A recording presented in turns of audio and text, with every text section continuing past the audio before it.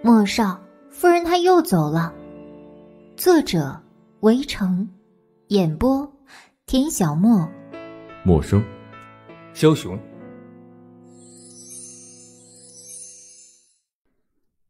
第三百六十一集，林雨柔再次醒来时，冷菲菲已经不在了。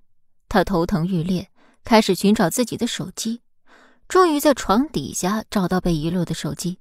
他拨打冷菲菲的号码。我刚醒，菲菲，你去哪儿了？我现在在楼下呢。你也快洗漱一下，下来吃早饭吧。那好吧，你等我几分钟，我马上来。冷菲菲点点头，便挂断了电话，继续吃自己的早餐。女人说的几分钟，通常都要半个小时以上才能收拾完。冷菲菲吃完饭，又在楼下打了两把游戏。这样的浪费时间情况下，林雨柔才缓缓出现在自己面前。林雨柔看着冷菲菲今天的样子，比昨天死气沉沉的样子好多了，就拿昨天的事儿打趣儿她：“菲菲啊。”你喜欢齐军就要上啊，男人嘛，你主动点总归没错。冷菲菲现在只想给他一个巨大的白眼儿来表达自己的内心。林雨柔才不在乎冷菲菲想不想理他，女人的八卦心理在哪儿都不缺。她把自己那份意面推到冷菲菲那边，然后自己也坐过去。冷菲菲觉得无奈极了。林娜小姐。咱们能不能矜持一点？怎么了？有什么好矜持的？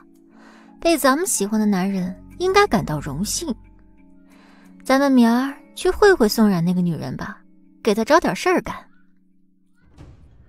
冷菲菲一听宋冉这个名字，终于有了一丝动容。雨柔，那明天可不能让我失望啊！两个女人就这样。在酒店楼下开始讨论明天的计划，在墨家正在学做饭的宋冉对明天要发生的事儿毫不知情。小静这几天什么事儿也没干，一直在查那个凭空消失的宋二伯，依然是一点头绪都没有。莫天星觉得，一件事情做得越是滴水不漏，越证明这件事是有问题的。一个大活人怎么就没有了踪迹呢？背后一定是有人在操纵着这一切。但是这一切又跟宋然有什么关系呢？他现在为什么突然去调查一个以前都不联系的人呢？第二天很快就来了，宋冉和往常一样做着自己的事儿，感觉自己自从小鱼被绑架的事情出现后，就再也没有见过那三个小朋友。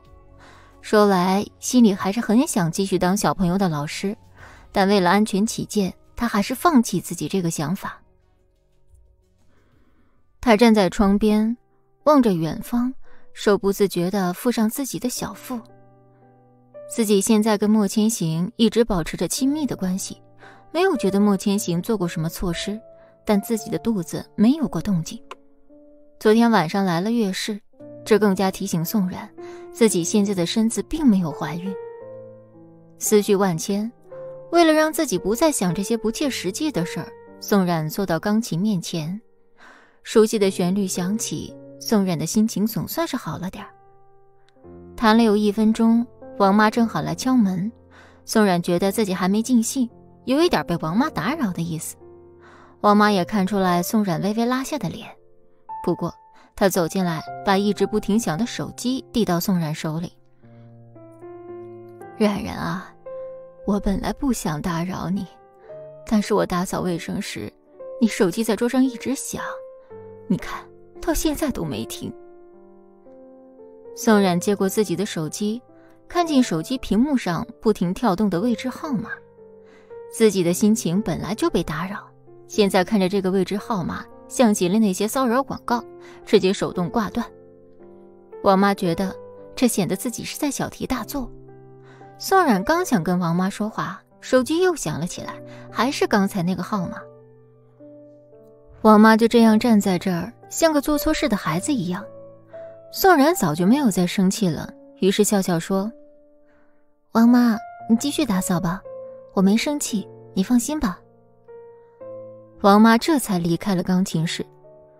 宋冉看着一直在响的手机，终于滑动了接听键，那边紧接着就传来一个男人急促的声音：“冉冉，就我！冉冉冉！”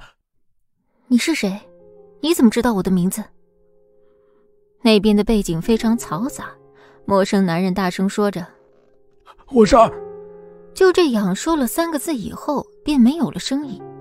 宋冉把手机拿远看了一眼屏幕，发现电话就这样被无情挂断了。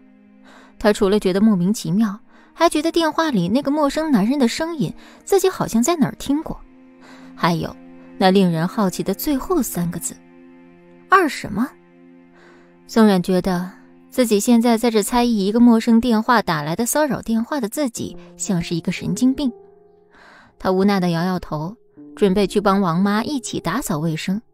这手机里传来一条刚才那陌生号码的彩信。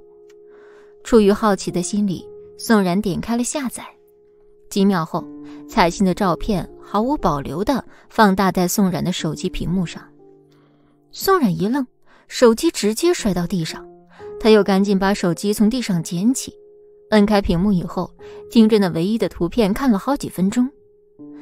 这个世界就是那么的小，自己苦苦寻找了那么多天的宋二伯一直没有任何进展，但现在这通陌生来电又给了他直接的希望。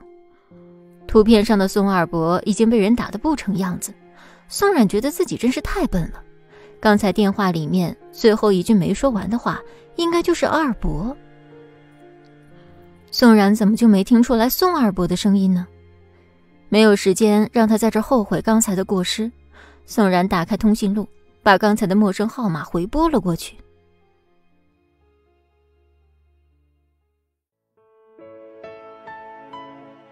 本集播讲完毕，再见。